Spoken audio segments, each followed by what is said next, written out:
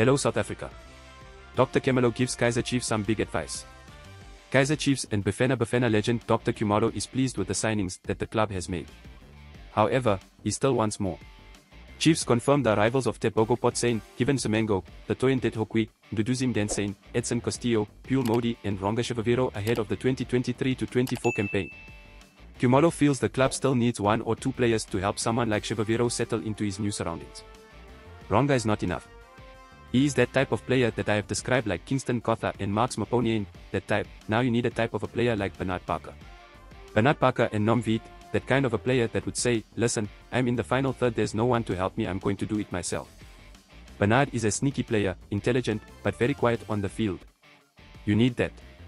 Now Ranga needs to be protected sometimes because, if he surpasses what is expected out of him, teams are going to start to plan against him. Now you need a Kaizer Chiefs that cannot play with a sole striker with only midfielders or a dummy striker, a player like Bernard Parker. Then you talk wing players because the strength of Kaizer Chiefs is wing play throughout the history of Kaizer Chiefs.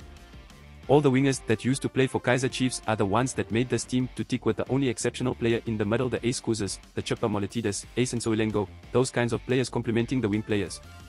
That's the Kaizer Chiefs way. Khumalo told iDiski Times. Please subscribe for more news updates. This is Luke for the South African.